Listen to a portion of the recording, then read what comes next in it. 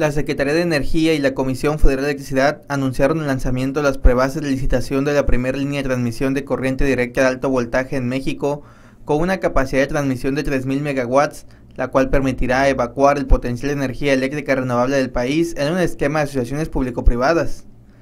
El secretario de Energía, Pedro Joaquín Colwell, señaló que esta línea de transmisión que irá de Ixtepec, Oaxaca y Yautepec, Morelos, es el primer proyecto en su tipo que se construirá y operará bajo la tecnología de corriente directa y contará con una extensión de poco más de 1.200 kilómetros de circuito abierto a la participación nacional e internacional.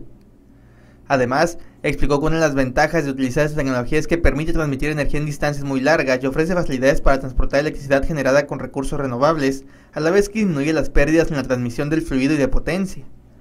Este proyecto fomentará nuevos mercados potenciales para las empresas de generación que se establezcan en la región sureste de México y que tal y como mandata la reforma energética, las bases del concurso estarán regidas por normas de absoluta transparencia.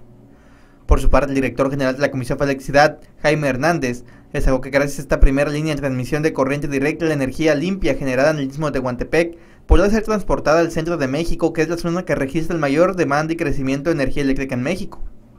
Expuso que este desarrollo estima una inversión mayor a los 1.200 millones de dólares y mencionó que este monto por primera vez en la historia del mercado eléctrico será reconocido en la tarifa que la Comisión Reguladora de Energía establezca en el futuro para realizar las actividades de transmisión.